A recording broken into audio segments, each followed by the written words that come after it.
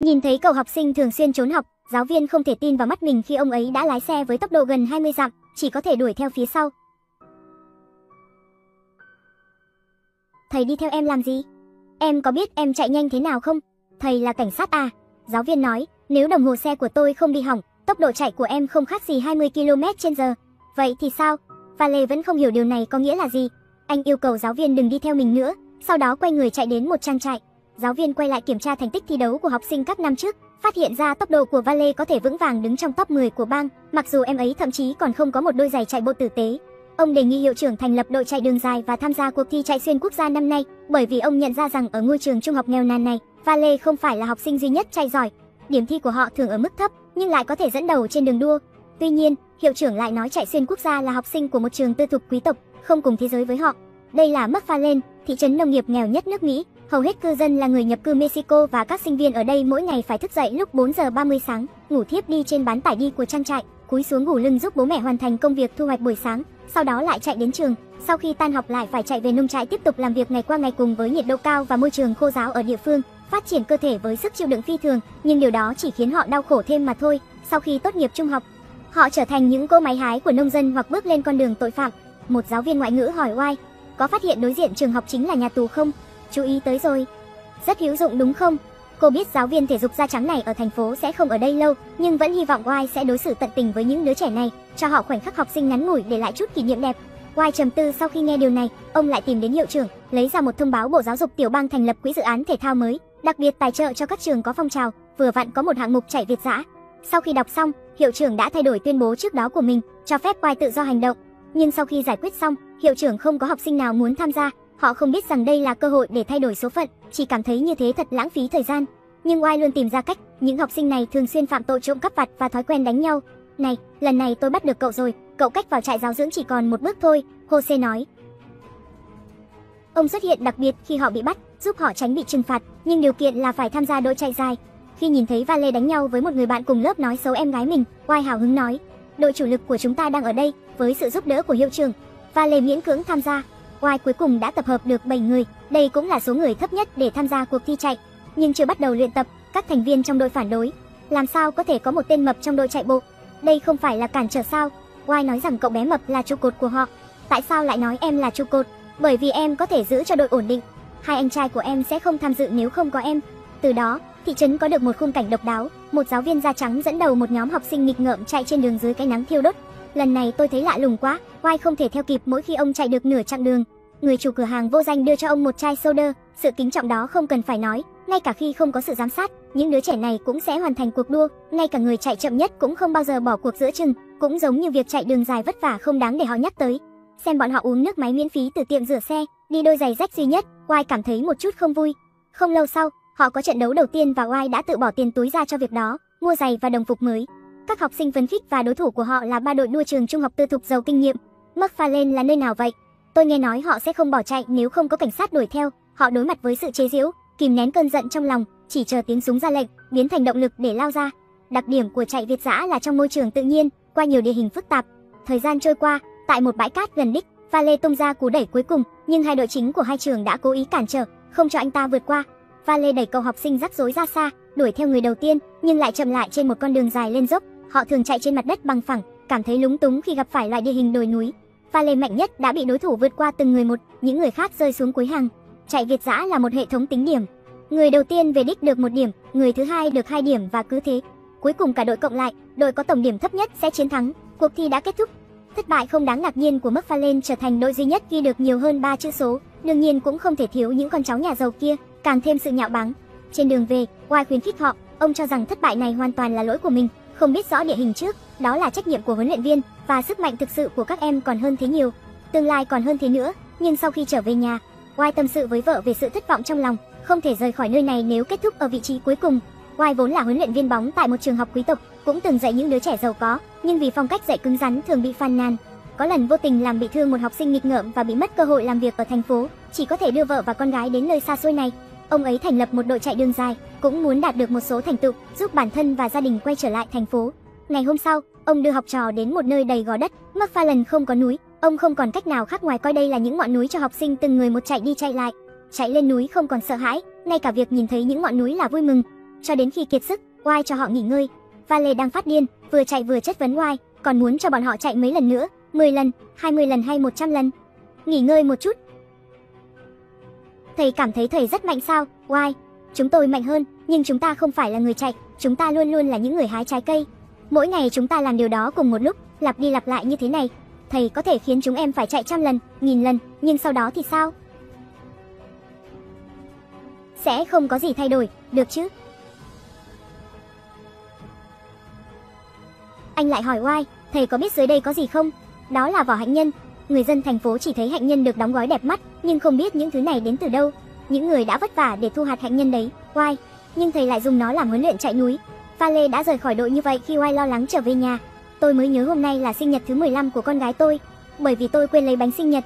Mới nhớ tới hôm nay là sinh nhật 15 tuổi của con gái. Oai đi ra ngoài muốn mua một ít quà tặng để bù đắp, nhưng lại thấy Pha Lê ngồi trên lan can cầu vượt. Ông thận trọng tiến lại gần, lúc đó mới nhìn rõ vết bầm tím trên mặt thiếu niên. Hóa ra em gái của Vale đã bất ngờ mang thai, làm cho gia đình vốn không giàu có càng thêm khó khăn, khiến người bố tức giận đến mất trí. Anh vô tình bị thương khi cố gắng ngăn bố mình đập vào tường. Nếu tay ông ấy bị đau, ông ấy sẽ không thể làm việc được. Thầy hiểu không? Hoa nhất thời không biết nên an ủi thế nào, ông ấy nói anh ấy đã ra ngoài vào lúc nửa đêm, đó là vì đã quên bánh sinh nhật của con gái mình. Điều đó không tốt đâu, Why? Nỗi đau khổ của cả hai không cùng một chiều nào cả, ông đành phải đổi chủ đề. Ở độ cao này em sẽ không chết nếu nhảy xuống từ đây, nhưng đôi chân có khả năng bị gãy. Khi đó em không những không có cơ hội chạy, nó cũng sẽ trở thành cọng rơm cuối cùng khiến gia đình suy sụp. Ông ta lợi dụng tinh thần trách nhiệm của cậu bé, kéo anh ra khỏi bờ vực sụp đổ trở về. Wai cũng biết, chạy Việt dã đối với mình chỉ là một tấm vé trở về thành phố lớn, nhưng đối với những đứa trẻ này, đó là bước ngoặt duy nhất của cuộc đời. Ông ấy hỏi Vale liệu có muốn tiếp tục không? Sau khi nhận được câu trả lời khẳng định, Wai về nghiên cứu kiến thức chạy Việt dã, tìm hiểu chi tiết và kỹ thuật qua băng video, sau đó trong quá trình luyện tập hàng ngày để học sinh hòa nhập, sau một thời gian, họ có một trận đấu với một trường trung học khác. Đây là một đội mạnh được xếp hạng trong số những đội giỏi nhất bang, nhưng cũng là viên đá mài tốt nhất của họ.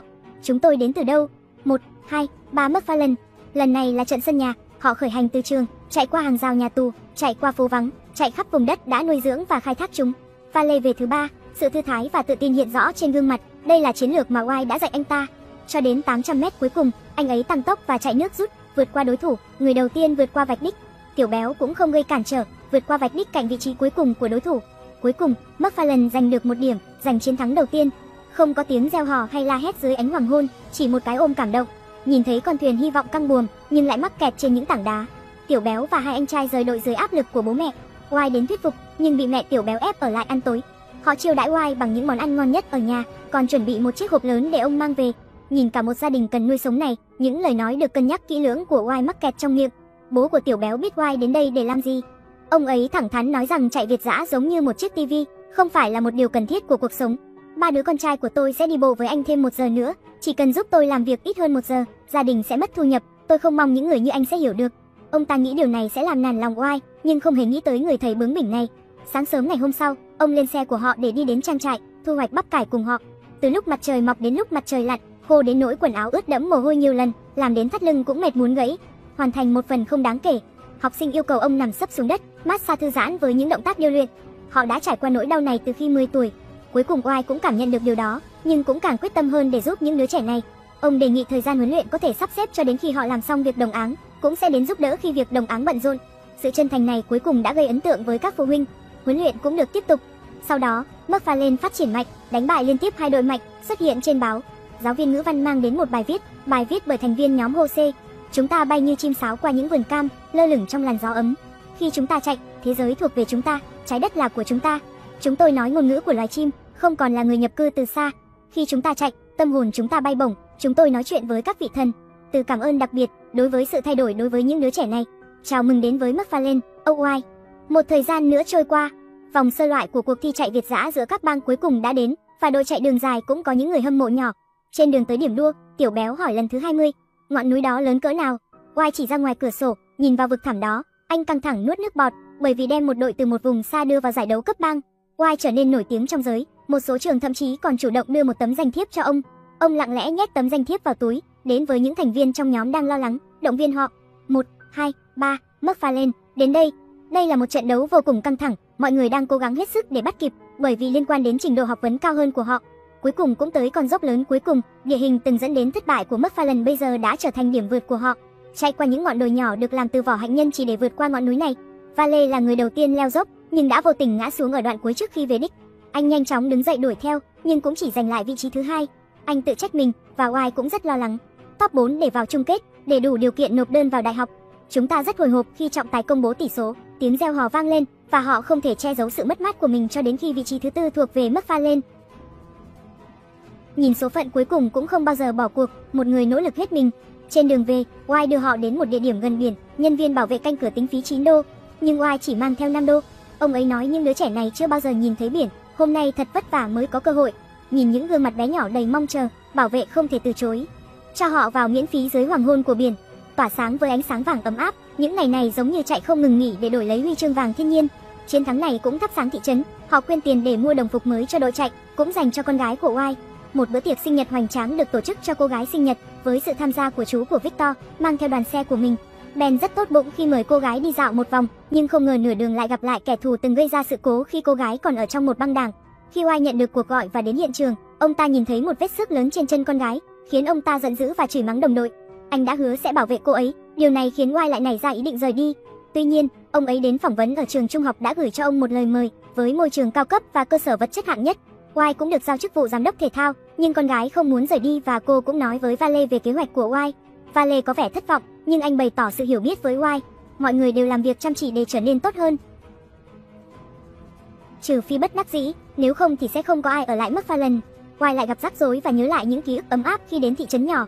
Vợ cũng bảo ông rằng sống ở nơi này cảm giác như ở nhà. Và vết thương trên chân con gái ngày hôm đó, nguyên nhân là do họ đã đẩy cô ra xa khi gặp nguy hiểm, khiến ông đang ở một nơi khác. Đến ngày chung kết, các thành viên khác trong nhóm không biết và người dân thị trấn đã lớn tiếng cổ vũ huấn luyện viên, đưa ông ta lên xe. Một cửa hàng chưa bao giờ đóng cửa trong 25 năm, cánh cửa lần đầu tiên được đóng lại và mọi người phải đi cổ vũ họ. Xem trận chung kết hoành tráng, tiểu béo lo lắng đến mức nôn mửa, nhưng Oai thẳng thắn nói rằng lần này các em sẽ phải đối mặt với những người giỏi nhất bang. Nhưng họ chưa bao giờ ra đồng vào sáng sớm, không cần phải chạy về trang trại để làm việc sau giờ học mỗi ngày. Tôi đã từng giúp đỡ công việc của gia đình tiểu béo, tôi thề đó là điều khó khăn nhất tôi từng làm trong đời, nỗi đau các em phải chịu đựng, đó là điều họ không thể tưởng tượng được, ý chí của các em không thể so sánh với ý chí của họ, bố mẹ các bạn đã vất vả cả đời, chỉ mong bạn đừng lặp lại cuộc sống của họ nữa, và bây giờ là thời điểm tốt nhất để thay đổi. 1, 2, 3, McFarlane. Trận chung kết có 12 đội tham gia, 814 vận động viên, chạy với tốc độ nhanh nhất trong cuộc đời. Nhưng Varai vẫn có thể dẫn trước, một đoạn đường hầm ở cuối. Anh liếc nhìn bóng tối phía sau rồi lao tới con đường tươi sáng phía trước. Vale đã đáp ứng được kỳ vọng của mình và giành vị trí đầu tiên, nhưng Jose chậm hơn bình thường một phút, điều này khiến họ bị tụt lại phía sau rất nhiều. Số điểm này là không đủ. Nghe này, Davis là người tiếp theo, nhưng phải mất ít nhất 30 giây. Huấn luyện viên, huấn luyện viên một nhân vật bất ngờ xuất hiện trong đám đông, đó không phải là Danny Diaz sao? Cố lên Danny. Đó là Danny Diaz, cố lên. Không ngờ là tiểu béo lao ra ngoài trước mắt mọi người. Tất cả tập trung vào Varai, nhưng không để ý, tiểu béo thực sự đang tiến bộ qua từng trận đấu. Lúc này anh mới phát huy hết khả năng của mình, vượt qua hết đối thủ này đến đối thủ khác. Huấn luyện viên từng an ủi anh rằng anh là trụ cột của đội, cuối cùng anh đã chứng minh được điều đó bằng hành động, xứng đáng với danh hiệu này, bởi vì tiểu béo phản công. Họ đã đạt được kết quả tốt mà họ thậm chí không thể tưởng tượng được. Đội chiến thắng của giải vô địch chạy Việt giã California đầu tiên là McFarland trong tiếng hoan hô.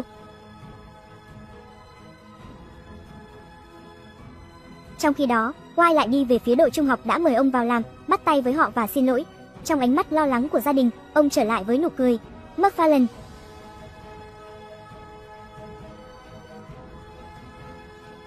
Cuối cùng ông đã chọn ở lại đây, hoang tàn nhưng tràn đầy sức sống, một nơi cằn cỗi nhưng thân thiện, tạo nên điều kỳ diệu tiếp theo cùng những học sinh. Đây là một câu chuyện có thật. 14 năm sau 1987, trường trung học McFarland dưới sự lãnh đạo của Y giành được 9 chức vô địch tiểu bang, ngày càng có nhiều trẻ em chạy Việt dã, nhìn thế giới rộng lớn hơn.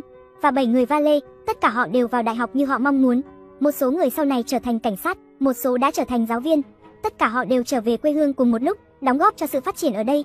Khi Y lần đầu đến đây, người chủ cửa hàng từng tặng ông một cây non để ông mang về nhà trồng ngoài sân. Ông nghĩ mình sẽ sớm rời đi, không chấp nhận nơi này, nhưng ông ấy đã thành lập một đội chạy đường dài, giúp bọn trẻ thực hiện ước mơ một cách hiệu quả, mang lại sức sống khác biệt cho cả thị trấn, vô tình gieo mầm hy vọng và bảo vệ nó khỏi lớn lên, cho đến khi cây cối được che bóng, khả năng vượt qua sự bất công và giới hạn của số phận, sức mạnh để đấu tranh cho một cuộc sống tốt đẹp hơn.